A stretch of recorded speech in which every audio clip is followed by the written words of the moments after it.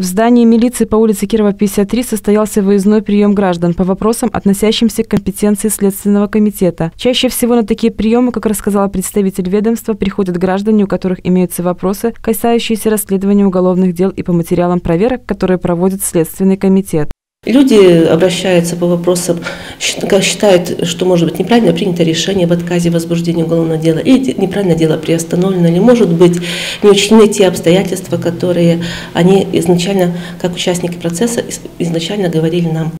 Часто граждан, которые приходят на такие встречи, волнуют не столько вопросы, относящиеся к компетенции органов предварительного расследования, сколько иных направлений. Но несмотря на это, как отметила заместитель руководителя ведомства, обращения всех граждан, записавшихся на прием, не остаются без внимания. Они получают исчерпывающие рекомендации.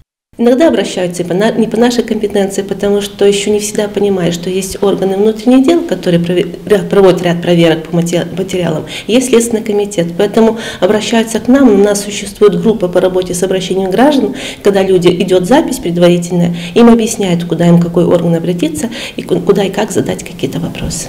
Большинство обращений граждан рассматривается на местном уровне, и, как правило, на выездные приемы приходят люди с острыми вопросами. Как нам удалось убедиться лично, таких в Пинске немного.